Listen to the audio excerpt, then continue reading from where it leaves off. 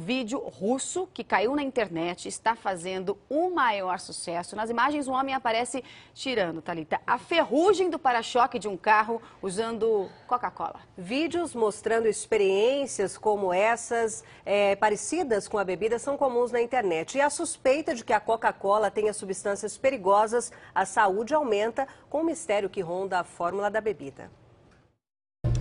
Preste atenção neste vídeo.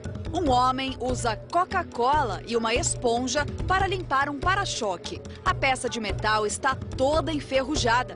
Ele joga o refrigerante e esfrega.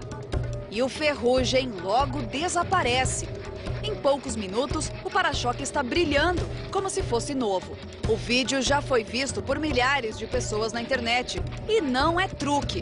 O ferro é recuperado mesmo em contato com Coca-Cola. Por e-mail, a assessoria do refrigerante disse que o que acontece no vídeo seria possível com qualquer líquido e uma esponja de aço.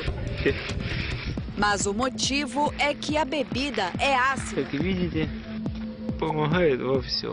Se você usar sabão, sabão é alcalino, ele não tira ferrugem bem. Agora, se usar uma substância ácida, seja cola, seja uh, um, uh, o hipoclorito, ele vai, sendo pH ácido, ele vai deslocar o oxigênio do ferro e vai restaurar o ferro. A dúvida que fica é sobre o que esses refrigerantes fazem com o nosso corpo.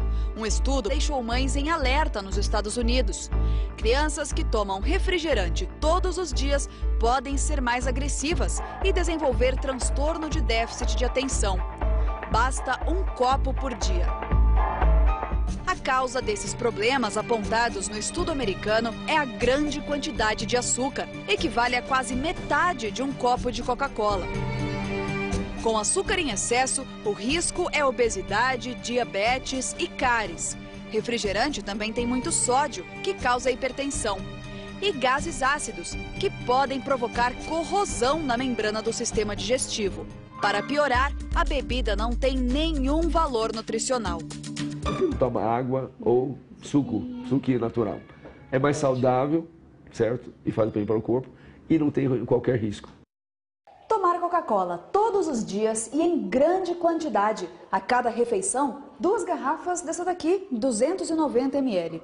Essa é a rotina do Douglas já há quase 20 anos. Hoje, com problemas de saúde, ele se considera viciado na bebida. Coca-Cola tem cafeína, é um estimulante para o cérebro. Há muita discussão em torno do suposto poder viciante dessa substância. Nós podemos ser viciados em todas as coisas, certo? Café, chocolate, e tem pessoas que realmente gostam tanto de Coca-Cola que eles ficam viciados. É uma, um vício psíquico. Não é químico. Mas não é químico. Douglas já chegou a sair da cama de madrugada para beber Coca-Cola. O rapaz precisa tomar remédio todos os dias para aliviar os sintomas do refluxo. Já são cinco anos de sofrimento, agravado pelo excesso da bebida. A cafeína e a acidez da cola, essa substância que dá a coloração escura, irritam o estômago queimação, algo que é, você toma aquele refrigerante, é, ataca alguma coisa no seu organismo que te deixa é, com, parecendo gastrite, alguma coisa assim desse, desse gênero. É uma bebida polêmica. Ninguém sabe ao certo o que vai na fórmula secreta. Mas já se sabe de alguns ingredientes suspeitos. Por exemplo, um corante que, se usado em excesso, pode aumentar o risco de câncer.